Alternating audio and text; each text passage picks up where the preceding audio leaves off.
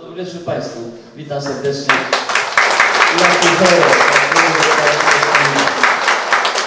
Mleka się nie piło, no kurde, na wsi się urodziłem. No, nie jest tak do końca, może w sercu w głowie, nie? Bo ja tak mówię, że alpinista nie jest w bułach, a w głowie. Chyba coś tu jest. Ja no, w takiej niezbyt długiej prezentacji chciałem e, po prostu powiedzieć o swoim wyborze, który dotyczy nie tylko mnie, ale wielu tu właśnie tych facetów, przepraszam, i pań, aż 35. Właśnie dziękuję Pani Anie, że mogę znowu wejrzeć. E, Nic się nie zmieniłem od tych paru lat, na to obrazie, jakby tak wyglądał. Ten szaliczek tam co był, to mi żona dała, żeby się nie przeziębił czasem na, na wyprawie. I dobrze mi służył. No dzisiaj młodzi mogą szybciej, prawda, rozwijać się w tym sporcie. Ja w wieku 20 lat dopiero zacząłem się wspinać. Nie dlatego, że byłem taki leniwy, tylko w tamtych czasach nie było ścianek wspinaczkowych. W ogóle można było trafić do... Nie, to... Można było trafić do wspinania dopiero na studiach właściwie, bo tam przy akademickich ośrodkach były kluby wysokogórskie. No ja oczywiście uprawiałem turystykę, harcerstwo, etc., ale yy, generalnie turystykę. Natomiast raz pojechałem w skały, gdzieś pod Jelenią Górę i zobaczyłem ludzi wspinających się z linami, patrzę z naszego wydziału, z elektroniki, więc mówię, spróbuję, nie, nie miałem chyba liny z takim moim przyjacielem Markiem, weszliśmy na taką małą skałę, ledwie tam drapałem się na nią, tak mi się ręce, nogi trzęsły ze strachu, jak szedłem na górę, to pomyślałem, o, to jest to. Po prostu to jest tak, jak z się nie da kupić, prawda? Rzadko się jeździ, przynajmniej w naszym sporcie, bardzo rzadko. No, przypadek decyduje, prawda? No i wiedziałem, że zostanę przy tych górach. Co prawda miałem takie ostrzeżenia, bo jak sobie wybierałem jakąś drogę życiową, no to jak się ma jakieś ostrzeżenie, to człowiek się zastanawia. A ja w drugim tygodniu wspinania od razu gdzieś spadłem tam 10 metrów, uderzyłem plecami, trzy lędźwie, L1, L2, L3, kompresja, klinika w Wrocławiu przed egzaminami, akurat byłem patrzyliśmy egzaminy, no ale mój brat się żenił, miałem być świadkiem i sobie myślę, kurczę, ja pojadę, miałem gorset od tu szyi po pachwinę, wtedy gorsety takie gipsowe były. Jak matka mnie zobaczy z tym gorsetem, to będzie dobrze. No ale chłopaki w akademiku mówią, stary, to się bierze wrzeszczot. I oczywiście otwarliśmy sobie, prawda, skrzydełka. Pojechałem do mamy, mama nic nie wiedziała, miał strach w ogóle powiedzieć o to, że taką ma pasję, prawda. Ale my jednak, wydaje mi się, oczywiście dalej podążaliśmy górami dzięki temu, że w tamtych czasach było trudno właśnie chodzić na skróty, musieliśmy być w klubach i byliśmy poddani pewnej procedurom klubowym, trzeba było napisać w Tatrach, w skałach, w Tatrach, potem w Alpach, Dolomitach, Kaukazie, Pamirze, Hindukuszu, zanim pojechaliśmy w góry wysokie. Ale wydaje mi się, że to był bardzo ważny etap, bo był to etap budowania partnerstwa, przyjaźni. Wszystko marzą wszyscy, myśmy też marzyli, prawda? Każdy marzy. No ale marzenie to jeszcze jest mało, trzeba je zrealizować, prawda? No to potem ty, ty, ty, już się dobieraliśmy, tworzyliśmy zespół. No potem trzeba pojechać włożyć do Huty Katowice, pomalować jakiś komin, prawda? To tam Falko tym wałkiem zasyłał na kominie, a już myślami był na południowej nocy oczywiście, prawda? Bo to była taka droga do tego, ale też czas budowania empatii, Coś, co jest bardzo ważnego. Dzisiaj muszę Wam powiedzieć, czasem ludzie spotkają w airporcie i mówią hej, jestem Jim, jestem John, jedno o drugim nic nie wiem i idą w górę, prawda? Ja uważam, że to nie jest najlepsze. Nasza droga była dużo lepsza. Ta droga, prawda, usłana koszulami w kratę, nie wiem, czy Państwo też takie mają, może gdzieś tam dziadkowie albo rodzice w to były kultowe koszule, to były w trzech kolorach, nie? Czerwono-granatowe, czerwone, żółto-czarne i jeszcze jakiś trzeci kolor, nie pamiętam. No ale tak byliśmy ubrani, bo oczywiście nic nie mieliśmy. Ja nigdy nie myślałem, że pojadę na Everest, prawda? Chociaż miałem kilka szczytów siedmiotysięcznych za sobą, Miałem jechać na Everest wiosną, ale ktoś tam wypadł ze składu, no i Zawada przysłał telegram do klubu, że mam jechać zimą. No to bardzo fajnie. Jak jadę zimą, to mi się strasznie to podobało. A dlaczego w ogóle Polacy chcieli zimą pojechać? No wynikało to z tego, żeśmy jednak tą wielką eksplorację stracili. Między 50 a 64 rokiem ubiegłego wieku wszystkie szczyty zdobyto. Tutaj właśnie kolega opowiadał o nich, ale bez Polaków, ani jednego nazwiska polskiego pierwszym. No, takie były czasy, prawda? W związku z tym, a ja zasłaniam przede wszystkim, nie wiem co to. W związku z tym y, moi starsi koledzy pomyśleli, co być światło może trzeba trochę przygasić, żeby było lepiej widać obraz. W związku z tym nasi starsi koledzy pomyśleli, jak tu zapisać jeszcze jakąś historię, prawda, w jak się zapisać, no tamta nasza eksploracja już za nami, to ktoś padł na pomysł, słuchajcie, nikt się nie spinał zimą w Himalajach. No i rzeczywiście Zawada otrzymał pierwsze takie zezwolenie, bo nikt przed nami się nie spinał. Jak dostał zezwolenie, bierzemy najwyższy Everest, prawda? No, wiadomo, jest zawsze wysoko. Myślałem, że jak przyjedziemy tam, będzie dwa metry śniegu. No zima to śnieg przecież, nie? A tam nic, zero śniegu w bazie. Co, coś tu nam już nie grało, coś to jest nie tak. No ale zobaczyliśmy, że te dy, szczyty dymią, jakby ktoś na ogniska palił. A, to sobie pomyśleli, chyba wiatr. Rzeczywiście potem się nauczyliśmy, że jest to silny wiatr, jet stream, który wieje o, z dużą siłą wiatru 200 na godzinę na szczytach. Jak byliśmy ubrani, to widzicie, w kurtki ortalionowe. Nikt nie słyszał o Goreteksie wtedy, prawda? To kupowało się wiele materiału, ktoś tam wyciął te kurtki, ktoś uszył. Mieliśmy żółte i czerwone były, pamiętam. Czapeczki, szaliczki, te wełniane pumpki, buty były tragiczne. Ktoś w krośnie zawada zamówił jakieś buty. W ogóle się nie dało chodzić.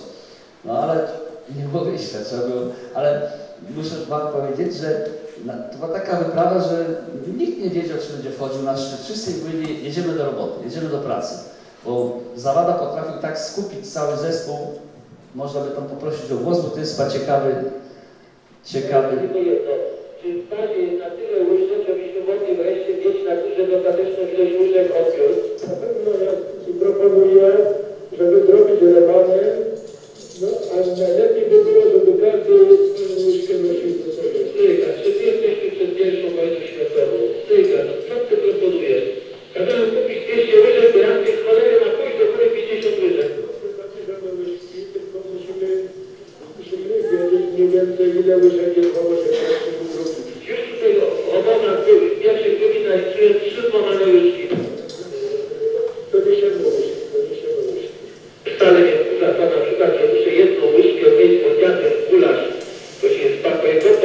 Ją myć, bo chcę zamieszać właściwie herbatę, to że ją muszę myć, bo, bo, bo, bo kisiel muszę myć, bo tu właściwie taki szlak może trafić, bo mamy jedną łyżkę wspólnie, no w jednym nawiązku. Tyle kurwa, to nie trzeba myć, wystarczy obliwać. Słuchaj, tymi metodami kolektywnymi tośmy jeździli tylko w do Etiopii. Między wyprawami poważnymi musi się przemieścić zawsze jakieś, jakaś głupia wyprawa. Jak widzicie Państwo, mieliście bardzo dużo problemów, na. Andrzej był estetą, mnie go denerwowało te brudne łyżki. To było wiele takich różnych dziwnych rzeczy, prawda, które mogły denerwować. No niemniej muszę powiedzieć, że akcja się rozwija dosyć szybko. Tam ja cały czas byłem na przodku, jak tylko wiedziałem, że trzeba pracować.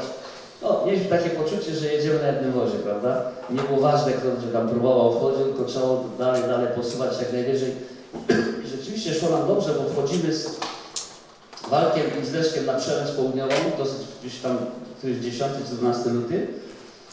Yy, Leszek Cichy był za duży, się nie mieścił w tym namiocie, a mieliśmy tak, tak zwaną szmatę kierownika. To tak jak, o, to, to jest szmata kierownika na 8 tysiącach, taki namiocik jak harcerze stawiają, czy zuchy, z jednym masztem. Wsadziliśmy kilka budki, żeby nas nie porwało, przesiedzieliśmy tam. Cichy chciał zostać, ale mówię, jak ty się nie zmieścisz, chłopie, no masz 1,85 m, nie ma szans. Wygoniliśmy go. No, wiedzieliśmy, że przespaliśmy już noc na przełęczy, zeszliśmy do obozu drugiego, wtedy otrzymaliśmy dwie wiadomości. Jedna, że nam o dwa dni przedłużyli tylko zezwolenie, czyli do 17 lutego, rząd Nepalu. I druga wiadomość była no, niezbyt dobra dla mojego przyjaciela walka, z którym chciałem się wspinać na szczyt, bo y, dostał wiadomość, że przyjechała żona do bazy. I oczywiście Walek y, zszedł do bazy, stracił szczyt. A ja spojrzałem w oczy cichemu, myśmy nigdy nie. Zostaliśmy we dwójkę i wiedzieliśmy, że tylko my możemy jeszcze w terminie, zamiast oczywiście do bazy, z powrotem do szczytu. I rzeczywiście 17 lutego, w ostatnim zezwolenia, wchodzimy na szczyt. Można tam dźwięk. Godzina druga 10. Nie mamy żadnych wiadomości.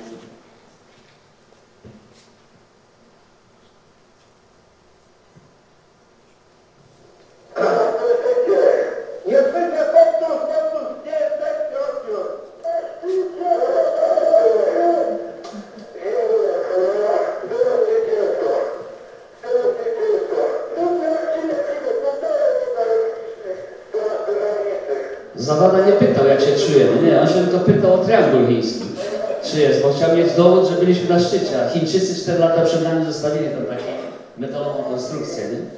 A ponieważ Tadeusz Leszek tam zajrzał do rurki, zobaczył taki message, kartkę taką zostawił, Amerykanie, on trzy miesiące przed nami wchodził, czy cztery. On niestety zginął w zejściu, ale zdążył tą kartkę zostawić, więc mieliśmy dowód, prawda, że weszliśmy na szczyt. My tam zostawiliśmy różaniec, który mieliśmy od Jana Pawła II, zostawiliśmy krzyżyk od mamy Staszka Latały, pobraliśmy śnieg do badań, termometr minimalny zostawiliśmy, min-max. Zeszliśmy do bazy. Muszę Państwu powiedzieć, że to jest też coś ciekawego, bo tylko my weszliśmy na szczyt, a jeden z chłopaków się rozpłakał. Ja myślę, że nie z zawiści, zazdrości. On się cieszył, że nam jako zespołowi się udało. To, co dzisiaj jest często no, trudno zauważalne, ale kiedyś tak było. A powinno być zawsze, że można się cieszyć z sukcesów przyjaciela, kolegi, koleżanki, prawda? A wtedy tak to było. Myśmy się czuli wszyscy, że jest to nasz sukces wspólny. No i rzeczywiście tak było. Ten różaniec, proszę Państwa, znalazł się niechcąco w Hiszpanii, w kraju Basków. A to jest flaga kraju Basków. Otóż historia jest taka, że oczywiście jeszcze była druga część wyprawy wiosenna, też ta sama Polska Narodowa wyprawa. Na tej wyprawie Andrzej Czok i Kukuczka wchodzą na szczyt, ale przed nimi parę dni weszli Hiszpanie z kraju Basków. No i oczywiście jak zobaczyli różaniec, to, to zajumali, nie? No, ja bym też tak. Ale zostawili flagę ETA frakcji walczącej baskijskiej. No to jak Kukuczka no to wziął tą flagę, nie? No i tak, my mamy flagę, oni mają różaniec. No i teraz próbowaliśmy w Hiszpanii, będąc negocjować z nimi, że może tak machniemy, nie? Wy nam oddajcie różaniec, my wam damy tą flagę. Ale oni coś tak niechętnie, oni właśnie byli chętni, ale potem wiesz, ale kurczę, ja rozumiem, różaniec włożycie gdzieś do muzeum, ale co my z tą flagą zrobili? Ona jest nielegalna. No się upadła sprawa, chociaż niedawno dotarła do mnie zła i dobra wiadomość, zła, że zmarła mama Zabalety, tego, który był na Everestie, u jej mamy ten różaniec był, ale zmarła ta pani, więc teraz z synem będziemy może negocjować, może się uda coś z tego, że, że wrócą do nas nasze, nasze rzeczy. Proszę Państwa, po tej wyprawie na Everest, to też ciekawe, nie mówiło się, że Cichy i Bielicki zdobyli zimą. Do dzisiaj właściwie w naszej przestrzeni górskiej mówi się, że Polacy zdobyli zimą. Jednak to był ten element strasznie podkreślający, że to my Polacy, a nie była perso- personalizacja, tak, że ty, ty i ty. Było tylko, no, Polacy zdobyli zimą. I tak było długo, długi czas. Oczywiście, jak już mówiłem, ponieważ wybrałem pasję wspinanie, no, pewne możliwości wyjazdowe nasze się zwiększyły, głównie przez to, że powstała ustawa o uprawianiu sportu, mieliśmy paszporty sportowe, nasze żony nie miały, także prawda, czuliśmy się bardzo swobodnie i mogliśmy po prostu ruszać w górę, ale żeby być cały czas w górach, to trzeba było zostawić pracę. Nie? Ja zostawiłem po 11 latach pracy, też zostawiłem, zresztą większość moich przyjaciół, dobrze się wspinających, nie dało się, no bo jeśli chcesz być 6-7 miesięcy w roku w górach, to nie da się pracować, bo po prostu trzeba zdecydować się o coś, prawda? No i myśmy dużo, oczywiście na tych pracach wysokościowych yy, zarobili pieniędzy, to były pieniądze klubowe oczywiście, bo to umowy podpisał klub yy, z różnymi tam hutami, kopalniami, a były to duże pieniądze, ponieważ one były po pierwsze nieopodatkowane, bo były przeznaczane na działalność statutową, no i przede wszystkim te kosztorysy były bardzo duże, prawda, bo w kartach katalogowych nie było takiej pozycji, bo trzeba było kosztorys zrobić, prawda, jak zjazd na linię były tylko budowanie rusztowań i demontowanie. No to byśmy budowali te rusztowania i zdemontowywali, których nigdy nikt nie widział, prawda? Ale w kosztorysie były. W związku z tym te budżety były bardzo duże, mieliśmy dużo tych złotówek, prawda? No był problem, co ze złotówkami zrobić, ale na to też znaleźliśmy sposób. I tak z wyprawy na wyprawę. No oczywiście ja wszystkich wypraw nie jestem w stanie pokazać, bo mam chyba ze 40 ze sobą, ale w 1984 roku ważna wyprawa dla mnie, bo na to na tym szczycie zginął mój pierwszy stały partner, z którym się wiele lat skinąłem. Co prawda ja nie byłem na tej wyprawie, bo urodził mi się syn, on pojechał, niestety nie wrócił i postanowiłem pojechać właśnie tam, zobaczyć gdzie się to stało. Był jeszcze Kukuczka, był Kurtyka, no i tak Kukuczka z Kurtyką chcieli koniecznie zrobić trawers. Ja myślałem, że mnie wezmą, ale wiesz, tak w trójkę się źle wspina, to wolny zespół, to Wojtek mówi, wiesz co, ja widzę, że ty szybko wspinasz, może byś tak spróbował sobie jeden dzień wejść. No spróbuję. mówię. No i tak spróbowałem, że mi się udało, prawda? Wszedłem tam w 16 godzin na 8 tysięcy na szczyt z bazy, zszedłem niecałe sześć. I właśnie to nie było takie ważne, że ja to zrobiłem, tylko to jest tak, że jak się złamie jakąś barierę, potem się okazuje, że inni też to robią. Po mnie jeszcze parę osób w ten sam sposób chodziło, prawda?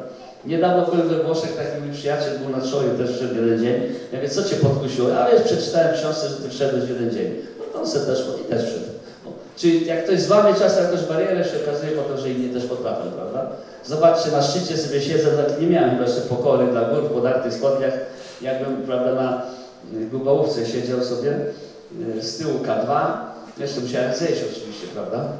Na lodowcu oczywiście rozeszła się wiadomość, że jakiś facet gdzieś Polak, ruski czy Czech, bo oni nas nie rozpoznawali, jeszcze była żelazna kurtyna, wszedł jeden dzień, Kurt Dimberger w środku gościu, on pierwszy w 57 roku ze szkoły na tą górę, Czyli wszyscy chcieli mnie dotknąć, zobaczyć kto to jest, to wszedł jeden dzień, prawda? No ale to potem się uczyli naszych nazwisk, no na chwilę do domu oczywiście, policzyć dzieci, zwykle przybywało, nikt nie chciał być mniej, zawsze więcej, nie wiem na czym to polegało, ale, ale to nie dotyczyło tylko mnie, wielu moich przyjaciół podobną mieli sytuację, no na chwilę trzeba było się tam pokazać, prawda, w domu, bo, bo była jednak rodzina, prawda.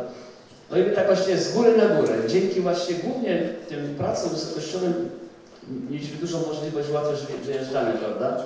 Ja pamiętam, że z klubu katolickiego to rocznie potrafiło wyjechać 5-6 wypraw. Z jednego klubu. Dzisiaj z Polski wyjeżdżają dwie, trzy wyprawy, prawda? Ale to głównie poprzez to, że mieliśmy tą możliwość tych prac wysokościowych. Co prawda e, nie mieliśmy dewiz, no wtedy złotówki nie były wymieniane. Ale myśmy zawsze znaleźli sposób, oczywiście kupowaliśmy dużo sprzętu, nie? więcej namiotów, więcej e, śpiworów, więcej lin, potem to wszystko jechało do Nepalu, tam sprzedawaliśmy połowę od razu, mieliśmy rupię, prawda, na zapłacenie krajarzy. Znaczy był tylko mały problem, po powrocie główna księgowa się pyta, gdzie jest sprzęt. nie ma. Jak to nie ma sprzętu? Zakupiony, nie ma sprzętu?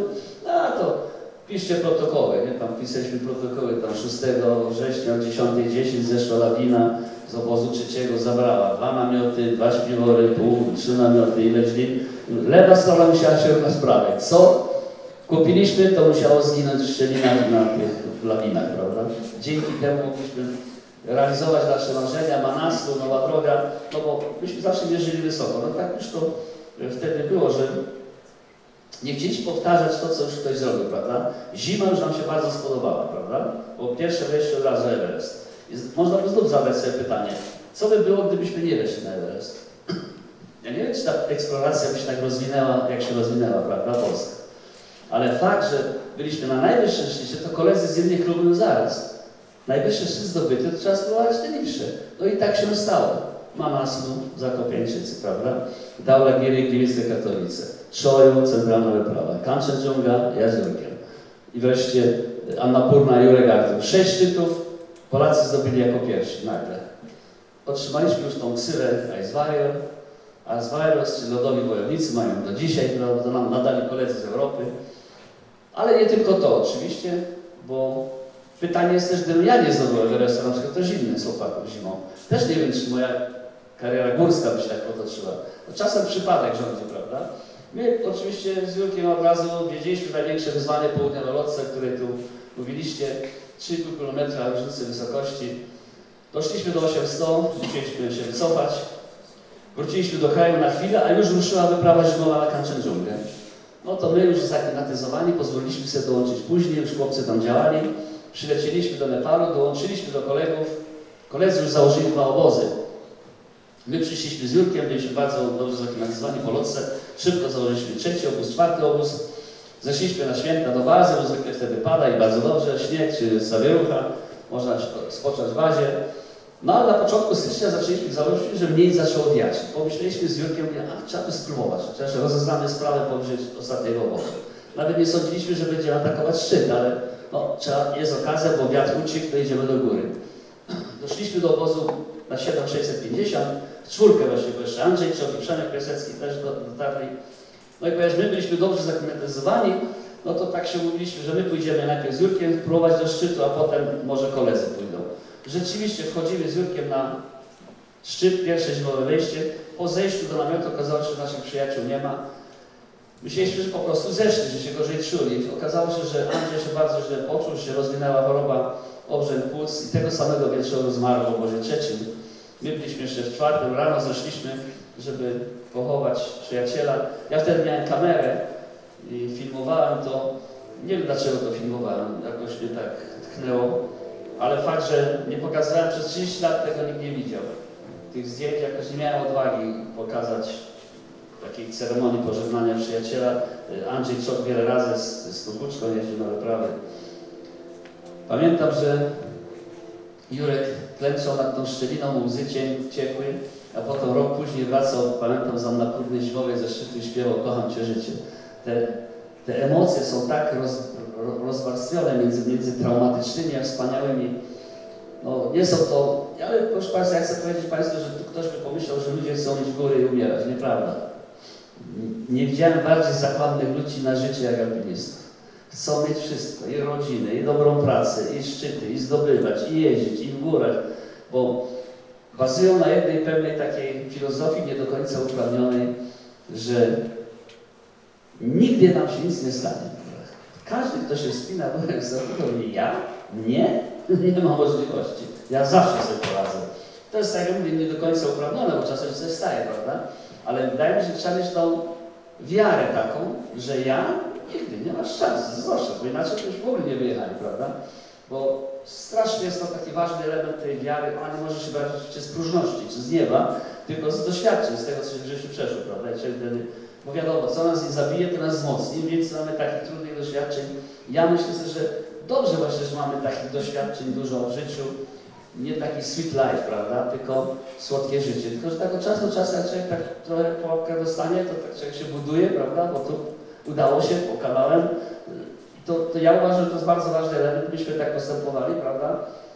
No, kiedy widzimy Wandę, już była wspomniana, prawda, że umówiła, umówiła się z kardynałem, wiadomo, pojechała do kardynała i słuchaj, ty jedziesz do Watykanu, ja na Everest, prawda, tego 16 października 78, prawda, ona otrzymała taki telegram, który brzmiał mniej więcej coś tam, dobry Bóg tak chciał, że tego samego dnia zeszliśmy tak wysoko. To prawda. Jak Państwo widzą, była piękną kobietą. No, cały klub wrocławski się w niej kochał. Niestety bez odwzajemnienia, ponieważ to by się nie dało z Wandą wytrzymać. Zbyt uparta kobieta. Niesamowita, mocna jednostka. Takiej kobiety nie spotkałem w życiu. To, co ona potrafiła robić, to musiała być zawsze pierwsza, najlepsza. Ja myślę, jakby tak tych trochę wand było więcej, to nasz gatunek, panowie, już koniec. Kobiety zaczną rządzić światem, bo są trzy teorie, nie wiem, czy Państwo znają, że przyszłość świata to są albo bakterie, opanują świat, albo wirusy, albo kobiety. Także ja bym tutaj, panowie, trzeba się bać. No oczywiście Wanda była dla mnie ważną osobą, bo ona mnie prowadzała do wspinania. Ona też studiowała na wydziale przede i była pierwszą w Tatrach, gdzieś w skałach, najpierw w Tatrach. Wanda się opiekowała młodszymi zawsze, bo inni koledzy zadowolowali, ale Wanda zawsze miała trochę czasu do tego, żeby nas tam poprowadzać. No bo wtedy jest zresztą też ważny element, że nie było komercyjnych, że tak powiem, działań w klubie. No, starsi koledzy, bardziej doświadczeni, uczyli młodszych, prawda? Nie komercyjnie, tylko normalnie. Jechali w Tatry, to trzech czy czterech zabierało go młodszych, jechaliśmy w Dolomity, czy gdzieś tam. No, na tej zasadzie to polegało i Wanda to spełniała się świetnie w tej roli, uważam. No oczywiście no Wanda potrafiła też wyprawę rozwalić. No, to była tak mocna osoba, że już nie z tą Wandą bywało. Ale ona wielką upartością, to tylko kobiety mogą być tak uparte jak, jak Wanda. I wszystko, co osiągnęła, to przez taką upartość pamiętam. Tu jesteśmy oczywiście drugi raz na nocy, no bo pierwszy raz nie weszliśmy, nikt się nie przymierzał, no to Polacy z dupy. Uprzedzę, trzy próby ja miałem, pół roku spędziłem w tej ścianie, trzy razy po dwa miesiące. I to nie jest takie ważne, że nie weszliśmy. Ale ważne, się mierzyć, też była tu mowa o tym. Trzeba mierzyć, trzeba mieć cel, zawsze ten wyżej, prawda? Nie, bo jeśli wyznaczamy sobie cel niski, no to się nie rozwijamy. Natomiast jak się ten cel wyznacza wyższy, to zawsze się rozwijamy. O też dwa miesiące walki w ścianie. No niestety na wszystkich wyprawach nocy zawsze ktoś ginął, ale to była, to były świetnie budujące zespół wyprawy. Ten zespół się przez wiele, wiele lat razem spinał, bo łączyły nas ciężkie, trudne chwile, które przeżyliśmy w ścianie. Raz byliśmy 200 metrów szczytu, raz 250 metrów szczytu. No niewiele brakowało. No ale Wanda oczywiście na południu nocy z nie bo miała swój program, prawda? Chciała zdobyć koronę Himalajów, właśnie biegła po, po tą koronę, ale mogła trochę zwolnić, mogła trochę wolniej, bo wiadomo, że no nie jest tak prosto, prawda? I jak, ale nie miałem kogo właściwie posłuchać, bo nie miałem osoby bliskiej mu lub związku, kto by ją jakoś troszeczkę ustawił. No a jakby tam co żartowaliśmy z Wandą, no to ty spójrz, że tam ma swój PESEL, te, no i dobra, to było wesoło, trochę żartów, złości, ale wydaje mi się, że u Wandy zabrakło tego, że jednak trzeba mieć osoby bliskie, szczególnie jeśli się robi coś takiego jak alpinizm, prawda? Czyli tak wiadomo, raz na tarczę, raz starczą, no nie stresujące sytuacje, a wiadomo, że w życiu jak mamy osoby bliskie, to łatwiej się przechodzi różne sytuacje, prawda? A jeszcze więcej, sukces też nie smakuje w samotności.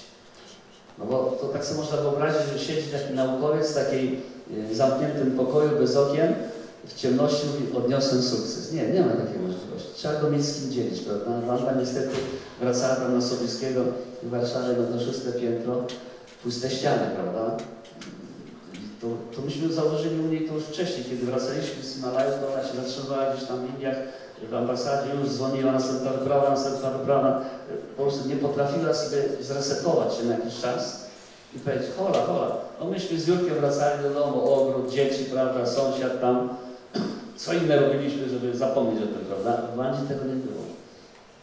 A to, że ona była tak uparta, to taki, na takich badaniach w Szwajcarii, w połowie lat 80. nasz taki profesor, przyjaciel, y, medy, profesor medycyny, chciał zrobić test na 10 alpinistach, no pod kątem głównie y, komórek mózgowych, bo wybrał ludzi, którzy bardzo często przebywali powyżej 8 tysięcy bez użycia budki. Myśmy z Arturem jakieś 4 dni siedzieli powyżej 8 na. No i Paweł na trójkę z Polski też, czyli na Wandę, Jurka i mnie. No oczywiście pojechaliśmy do e, Zurichu, tam Jurek mówi, zrobię sekret, bo na Szwajcarii na pewno dobrze zrobią, nie? No to proszę bardzo, pojechaliśmy. No oczywiście trochę się potem zmartwiliśmy, bo następnego dnia dali nam takie na smyczach te karteczki, trzy dni rozpisane tam wszystkich badań, prawda? No to już nie wycieczka, tylko będą badania robione i były między innymi no, badania te fizjologiczne się nie odbyły, bośmy tam poprzedniego dnia długo czytali książki, ale po południu były badania te wydolnościowe, czyli co? Bieżnia, maseczka i tam podkręcają szybkość i trzeba było biec tak, aż się upadnie, prawda? No, no trudno, jak każą, to biegniemy. Ja biegłem, Jurek biegł, chyba tam po 16 minut biegliśmy, Wanda się potknęła raz. Nie, nie, ja się tylko potknęłam, ja się tylko potknęłam. A, dobra. Też zrobiła bardzo dobry wynik. Tam się bada głównie VO2 max, to jest taki faktor, który mówi o, o możliwości przyswajania tlenu. A wiadomo, na 8000 mamy jedną trzecią wszystko tlenu, więc ci, którzy mają wyższy faktor, to są lepiej uprzywilejowani, prawda, to były wysokie. No ale również tam badali, w ogóle na ekranach były echo e, serca, no i tam inny profesor mówi do Jurka, mówi, no widzę, że ty masz arytmię. Jurek mówi, Pieron, wie pan, może mam, nie? Mówię, ja taki ucieszony, że Jurek ma arytmię, nie ma, nie? A profesor mówi, ale ty też masz arytmię? Tak sobie pomyślałem, ja arytmię? I wtedy sobie przypomniałem, że to jest tam G prawda z tą arytmią, bo jak byłem na Everestie, bo zeszliśmy do, ba do bazy po Everestie, to Robert Jani, nasz lekarz, podszedł do mnie i mówi, wiesz co, miałeś nie jechać na wyprawę. Ja dlaczego? No bo w Instytucie Lotnictwa ci stwierdzili arytmię, ale ja wiesz, przymknąłem oczy i już pojechałeś. To już wiedziałem, że to nic poważnego, skoro z arytmią wszedłem z powrotem. Oczywiście chciałem zażartować, mówię, co, że ja często z kukuczką, pewnie się zaraziłem. Jak było wesoło, wszyscy się śmieją, prawda? No to jak tam zarazić się, prawda? Profesor mi do Wandzi, ty nie masz arytmii. Jurek nigdy nie był złośliwy, ale wtedy tak złośliwie powiedział, no przecież nie sypia z nami, prawda? No więc wszystko było wesoło do czasu, kiedy profesor znów popełnił błąd, bo chciał nas pocieszyć. Mówi, chłopaki, nie martwcie się, każdy, kto uprawia sport wytrzymały, może mieć arytmię. Wanda tak słucha. Ja bym jeszcze raz zrobiła badania, ja na pewno mam arytmię. Jak taka kobieta mogła nie osiągnąć tego, co osiągnęła, prawda? I szkoda, bo przecież gdyby nie zaginęła przy dziewiątym szczycie, był to 92 rok. Myślę, że lat 90. czy pod koniec byłaby pierwszą kobietą, a pierwsza kobieta, jak wiecie, 2010. Czyli tutaj, no szkoda, Wanda to rzeczywiście była to wielka osoba, wspaniały przykład nie tylko dla dziewczyn, ale również dla facetów chyba. Oczywiście po naszych sukcesach w Nepalu, no to załadamy zaraz, mamy sześć szczytów, to trzeba teraz w Karakorum, też jest szczyt ośmiotysięczne. Już bez problemu otrzymaliśmy pierwsze zezwolenie jako znani lodowi wojownicy, tam proszę bardzo, Pani Zawada, zezwolenie. Zaprosiliśmy jeszcze Brytyjczyków, Kanadyjczyków, bo nie mieliśmy kasy na tyle, bo to bardzo droga wyprawa. No i muszę powiedzieć, że dostaliśmy po łapkach. Sądziliśmy, co tam, sześć szczytów za nami, tu Aizwarios, Polacy, a tu się okazało, K2, nie taka prosta sprawa. Do dzisiaj zresztą jest prosta. No, muszę powiedzieć, że tylko wyszliśmy na 7200 po 80, ja 80 dni spędziłem w bazie. Najdłuższa moja wyprawa, 4 miesiące. No i okazuje się, że ten jetstream, który schodzi z Arktyki, to pierwsze uderzenie właśnie dostaje K2 jest na drodze. I tam ta pogoda jest jeszcze gorsza niż w Himalajach, Karakorum generalnie, prawda? No, ale już coś wiedzieliśmy. Oczywiście po powrocie do domu powiedziałem, koniec, żadna zima, nie chcę nigdzie jechać. Wybraliśmy sobie z kumplami piękną ścianę w Indiach, w Garwalu, na 6000 szczycie, jest zdobyta ściana wtedy. Wbiliśmy się w ścianę, już w takim stylu alpejskim, czyli non-stop climbing. Gdzieś tam tego dnia Falco niechcąco zahaczył jakiś taki blok, bo w takim pionowym terenie spadł na głowę, pękł kask, tu mi coś, coś pękło, tu pękło, ale coś czułem, że od razu coś jest z kręgosłupem kolejny raz, bo po prostu mnie, jak się potem okazało, prawie centymetr mnie skróciło, bo to w pionowym terenie ja nie miałem rolkę w filmie, czyli straciłem przytomność na jakiś ale po prostu mi tak tak trochę skróciło. No, wiadomo, zjazdy, dwa dni zjazdów, potem transporty, helikoptery, szpital, Indie, to w ogóle bajka nie była. No ale wróciłem do kraju, to już była jesień, i teraz miałem dylemat, bo tam ten gorset, a były lepsze gorsety, bo były gumowo-metalowe, takie tylko pręty i taka guma, już nie dawali gipsowej na szczęście, nie, bo trzeba by znów ciąć. No ale w 1988 roku nasi przyjaciele z Berki zaprosili nas do wyprawy zimowej na Everest, bo oni chcieli zdobyć Everest zimą. No to zaprosili lodowych wojowników, tak? Zawada, Cichy, ja jedziemy, nie ma sprawy, za darmo możemy jechać, prawda? No i chłopaki polecieli, ale wcześniej jeszcze Zawada poprosił właśnie Belgów, że słuchajcie, my wam możemy pomóc, ale moglibyście nam wykupić, obok jest szczyt Lotse, który jest niezdobyty zimą, czwarty szczyt ziemi. Nam chodziło już o ten Lotse, prawda? No i oczywiście oni się zgodzili, to 12 tysięcy dolarów. Okej, kupili. No ale chłopaki polecieli, ja się bałem lecieć, właśnie nie wiedziałem co zrobić z tym gorsetem. Lekarzowi oczywiście nic nie powiedziałem, bo zakazał w ogóle chodzić z plecakiem. Żona pokazała, prawda, tu, no wsiadłem w samolot, poleciałem. Dołączyłem do przyjaciół w Belgowie oczywiście. Gdzieś tam po świętach zaraz e, zrezygnowali z tego Everestu, doszli do 800. No a my mówimy, hola, hola, tu jeszcze my chcemy zostać, prawda? No to zostańcie sobie, proszę, macie te namioty. Zostaliśmy w trójkę, właściwie czworo, bo jedna z dziewczyn jakoś poczuła blusa do Polaków. Tak musiała się nią 4 lata z Ingrid spinać potem. Tak poczuła blusa. No i jesteśmy czworo w kotle zachodnim na 6600. Patrzę, a tu buci trochę wiatrem, jest zawada, trzeba iść na szczyt, kurde, już nie wieje. A nie, no widzisz, Leszek trochę źle się czuje, Ingrid się źle czuje. Poczekaj, za 2-3 dni dojdą do siebie, to pójdziecie. Ja mówię, stary, za 2-3 dni znów zacznie wiać i nic z tego, nie? Ja mówię, idę sam. Ja jak idziesz sam? Przecież to niebezpieczne. Jak niebezpieczne? No macie lornetkę, to będziecie patrzeć, nie obserwować mnie. No właściwie fakt, jak mam lornetkę, to... No i oczywiście uciekłem szybko do góry, na 7300 mi porzucałem na mecie od po belkach. Przesiedziałem tam do trzeciej rano, w nocy przyszedłem do szczytu i nie miałem wiedzieć, oczywiście bolało mnie tam, ten TH8 cały czas, bo mam TH8 się zrobił taki. Ale no był to ból do wytrzymania, natomiast mój horror się zaczął w zejściu, bo jak się, no to była trudna, bo lodowa ściana, no to wiadomo, dwa czekanie, przodem do ściany i zabijanie raków w stopnie, tak? To takie są uderzenia na kręgosłup, że ja myślałem, że tam jakiś gorący pręt żelazny ktoś do pleców wkłada. To powodowało, że ja się wolno strasznie poruszałem. Bo co 10-15 uderzeń musiałem odpoczywać, bo mnie tak bolało, że po prostu nie wiedziałem. Widziałem ten namiot, wiedziałem, że muszę do niego zejść. Jak nie zejdę, to nie zejdę. Bo ja schodziłem wolno, to już zacząłem w hipotermię wpadać, czyli drgawki. I tak, no muszę powiedzieć, że jeden z trudniejszych chwil w moim życiu, to zejście. Ale co się wydarzyło? To zobaczyłem w pewnym momencie czarny punkcik z obozu drugiego. Idzie w moim kierunku. To, to nie był ktoś, kto mi podać rączkę, nie? Ale sam fakt, muszę Państwu powiedzieć, jest, ja bym to nazwał takim partnerstwem wirtualnym czy psychicznym. Ja uwierzyłem w to, że, że, że mi się uda. Bo jak się widzi kogoś, że ktoś jednak idzie, to jest takie no, psychiczne. Czasem y, w życiu codziennym na kogoś wystarczy spojrzeć i wiem, że na niego mogę liczyć, prawda? On tu nie mógł spojrzeć na mnie, było daleko. Ale sam fakt, że ktoś idzie, prawda, to naprawdę mi dało taki power, to się rzadko zdarza, ale uważam, że to jest rodzaj takiego, bo są partnerstwo takie no, fizyczne, komuś coś dam, pomogę, prawda? Ale może psychicznie również dać. bo to mi nic nie dało, tylko psychicznie mógł mi, prawda, pomóc. Rzeczywiście zszedłem do tego namiotu, cichy gotuję herbatę, uratowany. Pierwsze wejście zimowe, pierwsze solowo, pierwsze w grosecie, już będę nie chodził. Także było to dosyć zadziwiające. Spędziliśmy wspaniałego Sylwestra. Co prawda, jak widziałem ten punkcik, to tak się jeszcze łudziłem, że to może ta Belgijka idzie. No niestety to był cichy. Ale to, ale ta lornetka się przydała. Zobaczcie, oni mnie obserwowali i widzieli, że mi bardzo wolno idzie zejście. No i, i Leszek Mądrzy źle czuł, jednak zdecydował się pójść do góry. Jurek odszedł w 1989 roku. Ja niestety z prezesem musiałem pójść do Celiny poinformować ją o śmierci. No jedna z trudniejszych chwil w moim życiu. Już wolałbym być ścianie niż pojechać na Gdańską. I myśmy, nic nie powiedzieli, jak nas syna zobaczyła. No są takie trudne, cholerne chwile. Ale sobie myślę czasem, że lepiej już być w górach niż, prawda, bo jednak niż wszyscy sta- stanowiliśmy bardzo hermetyczną grupę, znaliśmy się wszyscy rodzinami, dziećmi.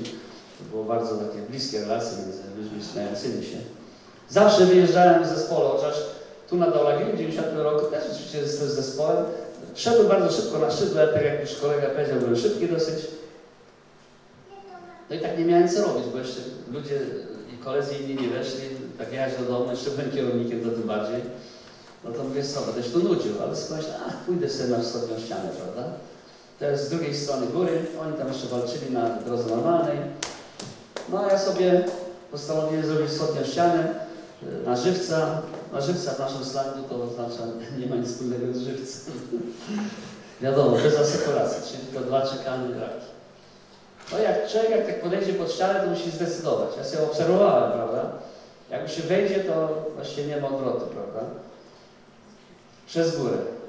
Rzeczywiście wspinałem się całą noc tą drogą, aż do podwieczora następnego dnia. Już miałem wyjść do granic szczytowej, kiedy zauważyłem, że taki śnieg, który wydawał się ten śnieg taki firma, to był śnieg na płytach skalnych. I oczywiście to moje czekanie nie chcą pracować, wszystko się osuwa, nie?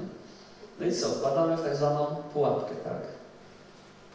1600 metrów w dół. Tu mi brakuje 40 metrów do grani, nie? I po raz pierwszy w życiu miałem omamy,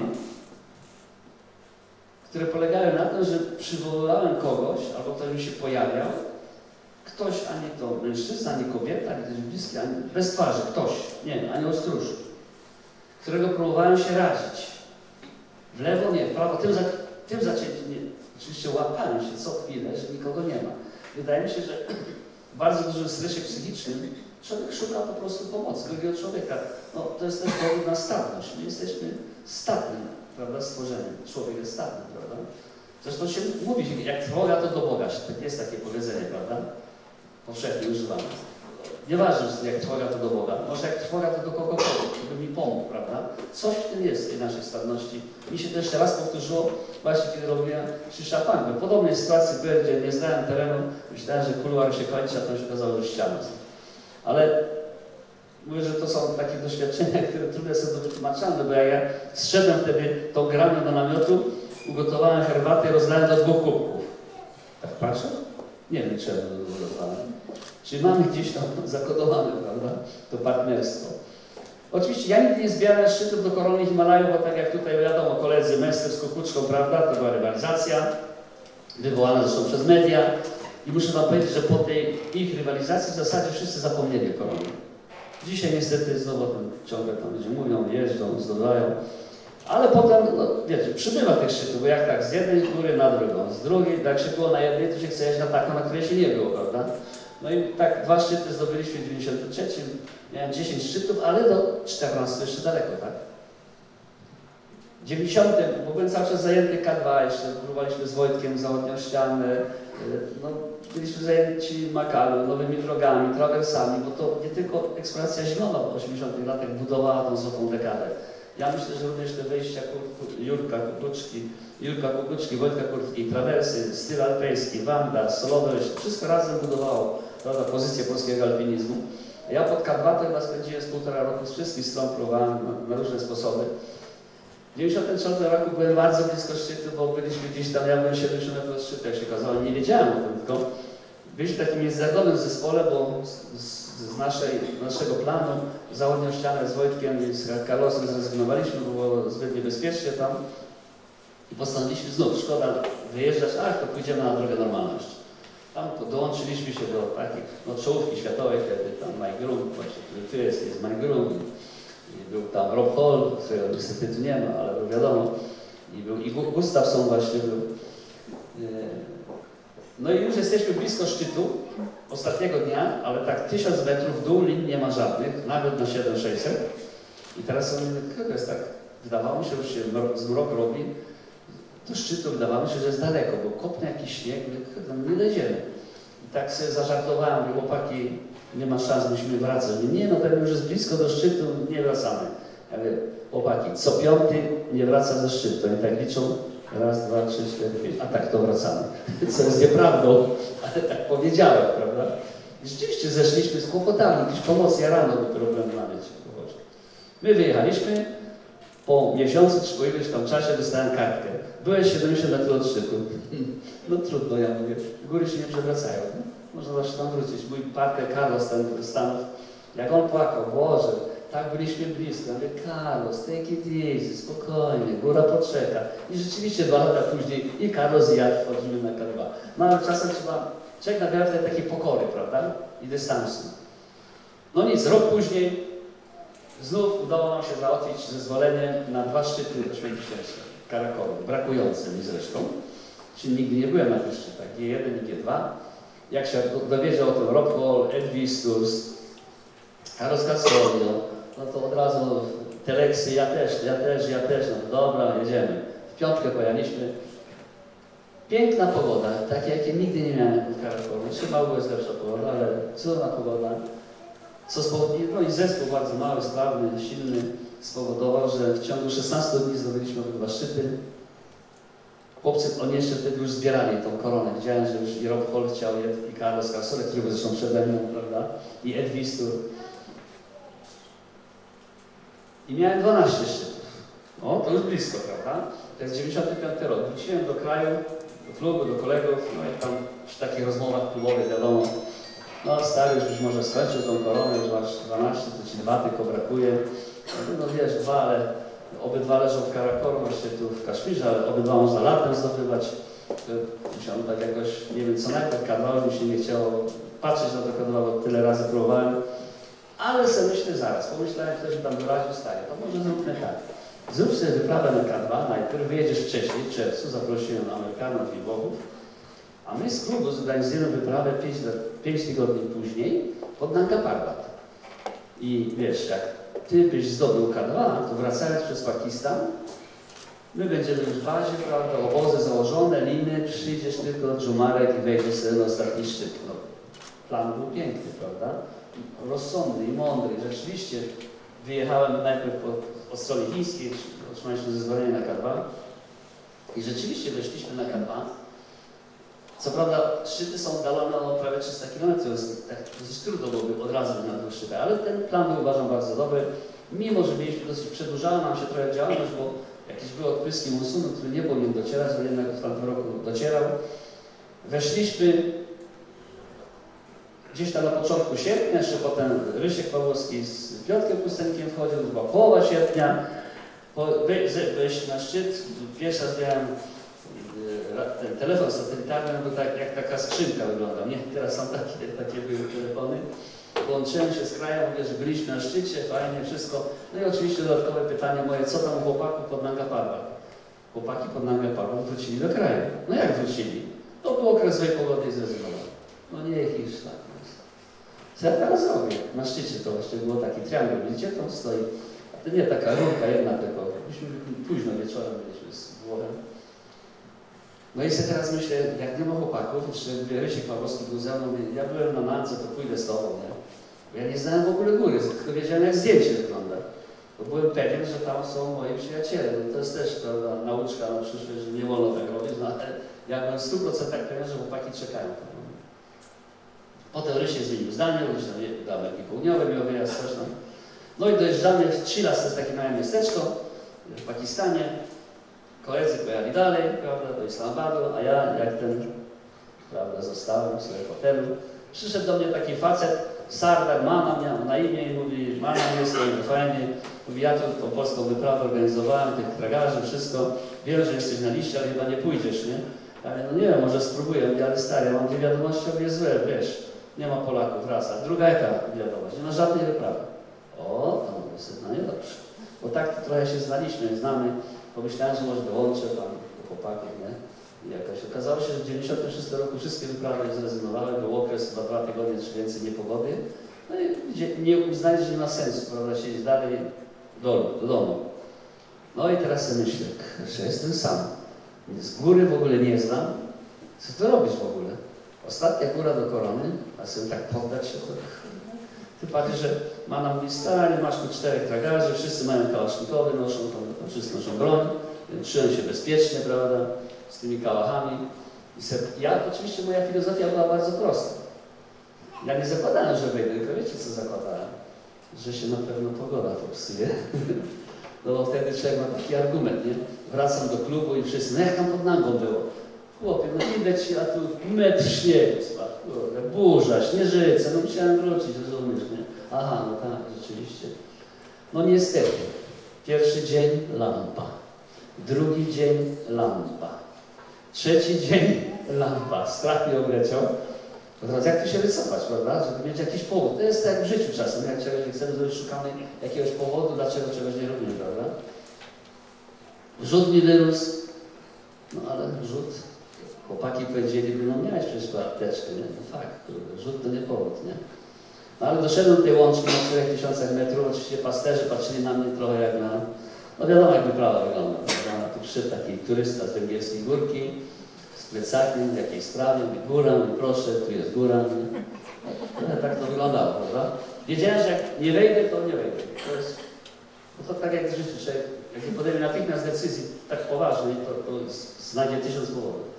Tylko, że ja musiałem wziąć wszystko ze sobą, tak? Plecak 25 kg, sprzęt, namiot, wszystko miałem ze sobą.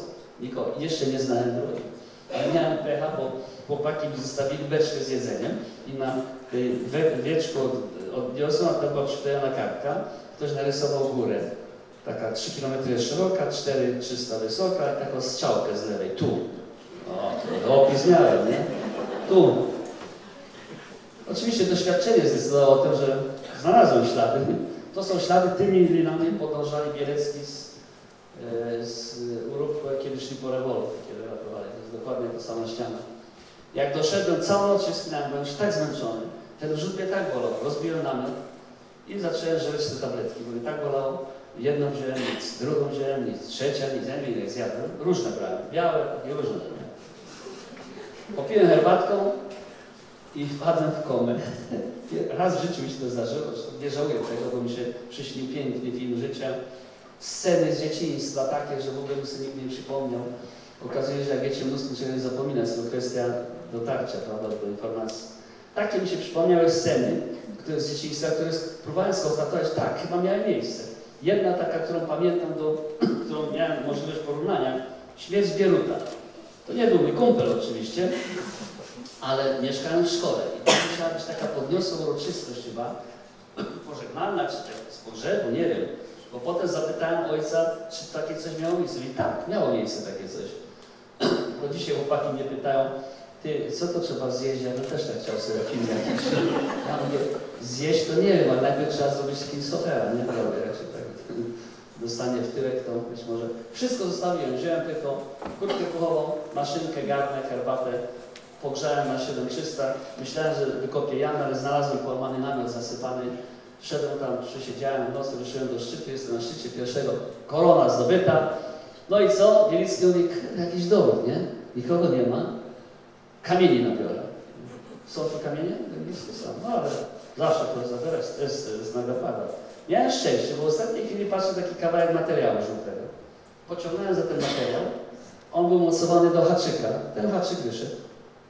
Haczyk spełniał żadnej roli, to jest mosiężny, ale pamiątkowy. Austria 76, High Mountain Group Graz. 20 lat przede mną. To co? Haczyk do kauzy? Zjechałem ścianą, półtora dnia czy dwa. Wyszedł naprzeciwko mnie ten salwę z tym kałachem, wywalił tą, znaczy najpierw bezpieczył taką salwę w powietrze i mówi do mnie, well done. well done. I on znów tak sobie well done'ujemy, dobrze zrobione. On mówi, wiesz, jak już miał problem, twój ostatni szczyt do korony z udowodnieniem, że ty byłeś na szczycie, to my tu wszyscy pasterze możemy zaświadczyć o tym, nie? Ale jak możesz to zrobić? Pokazali taką lunetę, oni nie wiem, kradli, może kupili, nie wiem. I oni mnie prowadzili do szczytu i z powrotem oni nie wierzyli, no bo sądzili, wiecie jak wyprawa wygląda, nie? Dwa miesiące, 10 uczestników, kierownik, oficer, kucharze, a ja tak przyszedłem jak turysta, nie? Chcieli mnie sołtysem zrobić, tak?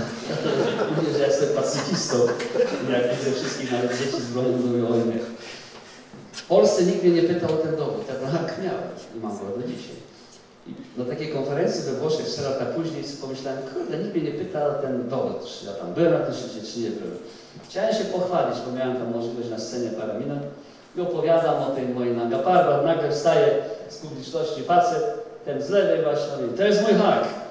Był Nor Robert Schaller, Robert Schaller z Austrii, który zostawił to. Chciał mi zabrać ten hak, ale go nie dał.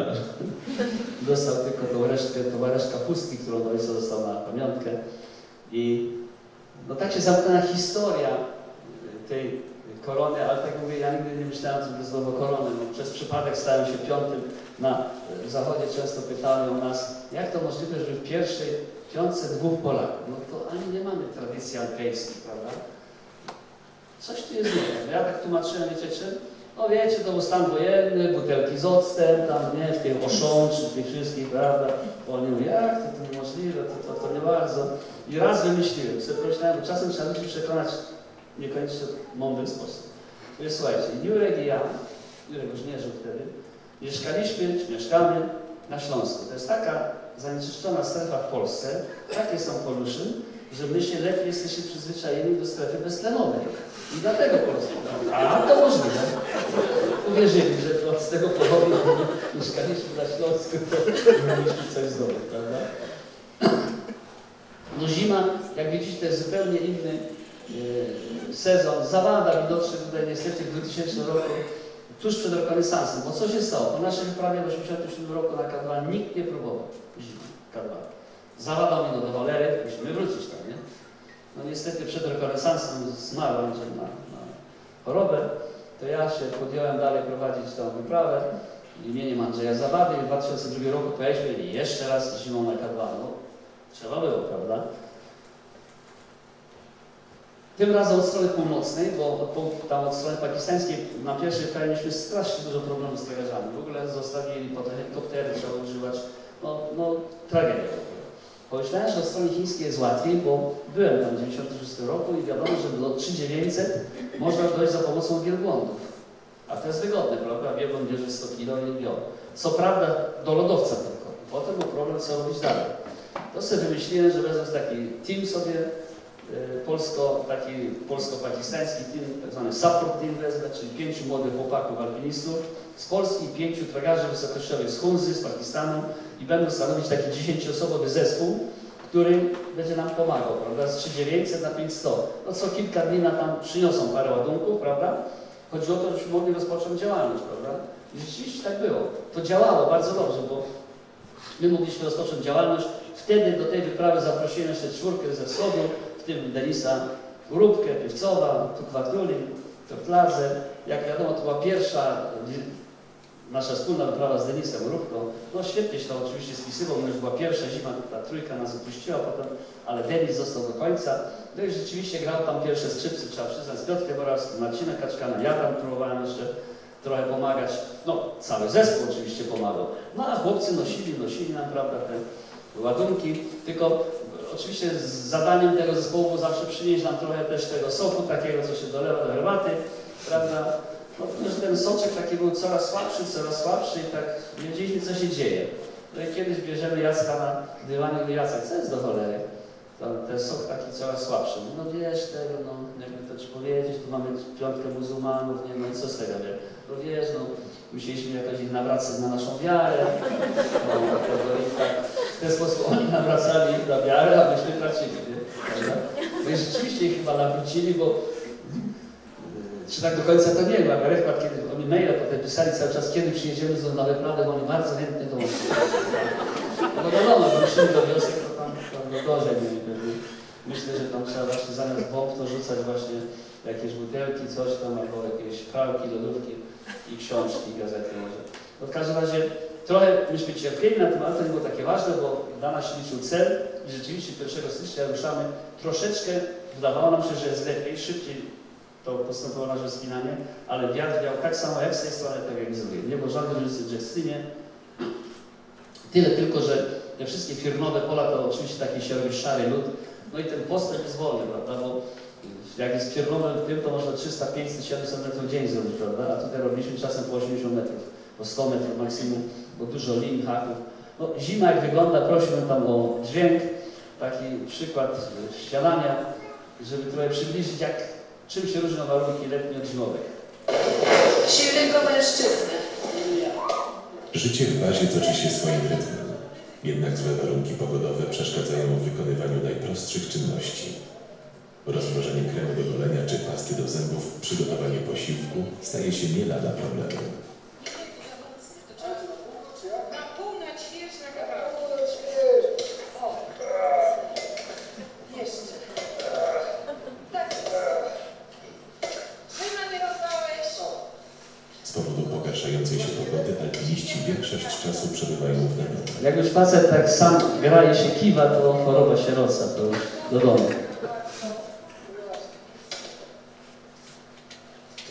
Nie, nie wiem, co się dzieje, ale... Tak jak do drewna.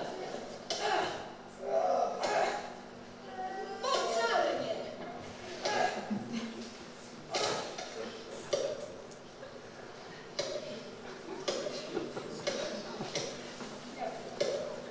Support team śpi.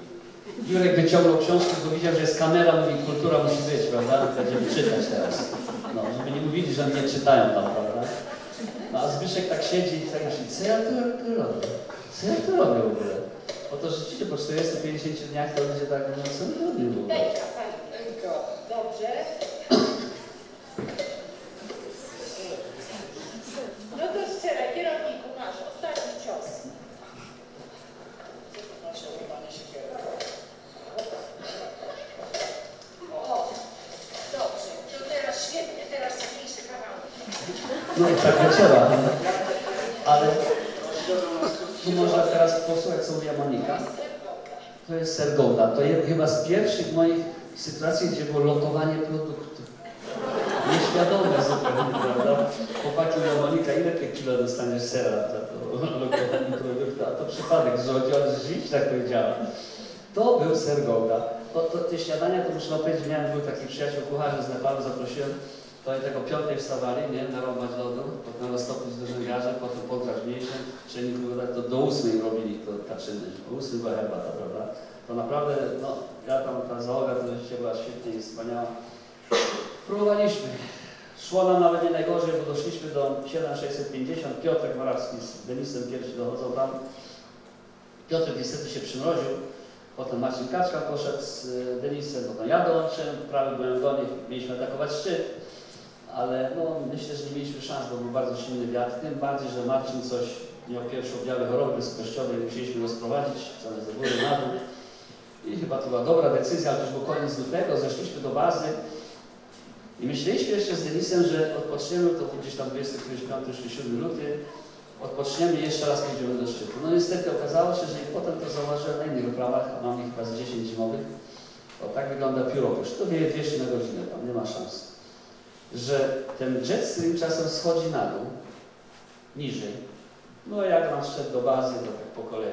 Już każdy trzymał swój namiot, żeby go nie porwało. W nocy nikt nie pilnował ani kuchni, ani mesy, ani niczego, nie, nikomu się nie chciało. Rano oczywiście się wstaje i co? Wszystko leży, połamane rurki, wszystko. Przez cały dzień budowanie namiotu na nowo, rurki, tu związanie. I znów następna noc, znów nikt nie wychodzi, czekamy rano, wszystko leży. No po paru takich dniach walki już wszyscy mieli dość i stwierdziliśmy, że to nie ma sensu. No tak wygląda marzec w barze, w bazie. Ja nie wiem, według Denisa, czy to jest jeszcze zima, czy nie. Chłopcy to gaszy, u mnie też w marcu namiot, namioty fruwały w bazie. Według niego to już jest wiosna, no być może. No w każdym razie druga próba też się nie udała. I co? I znów nikt nie chciał się.